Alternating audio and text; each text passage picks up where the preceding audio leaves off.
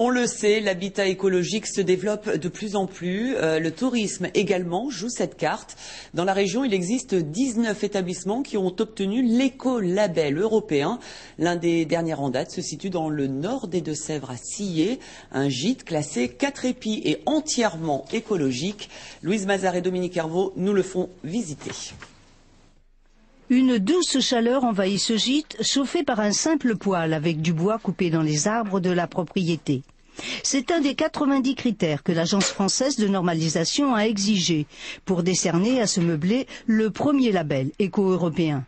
Cette maison a dû répondre aussi aux normes bioclimatiques, être très bien exposée au soleil et bien isolée. Très bien isolée, ça veut dire quoi?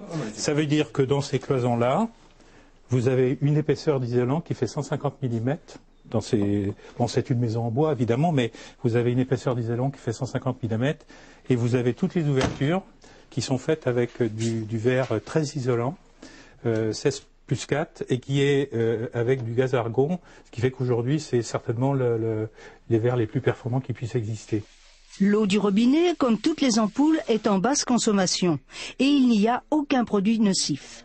C'est-à-dire que tous les produits que nous avons utilisés, y compris les peintures, sont des peintures non polluantes, c'est-à-dire qui sont des, peintures, on va dire, écologiques, et qu'il n'y a pas d'émanation, et donc l'air qui est respiré ici est de bien meilleure qualité que dans n'importe quel autre logement.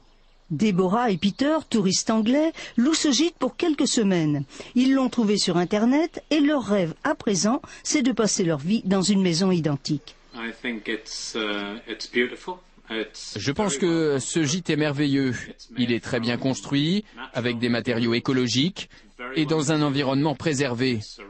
Il est entouré d'une belle campagne et d'un étang fabuleux. Je voudrais avoir une maison en France exactement comme celle-ci. La maison, l'étang et les arbres. C'est parfait. Douze autres de Sévriens devraient pouvoir, au cours de l'année, obtenir ce même label. À présent, cette bataille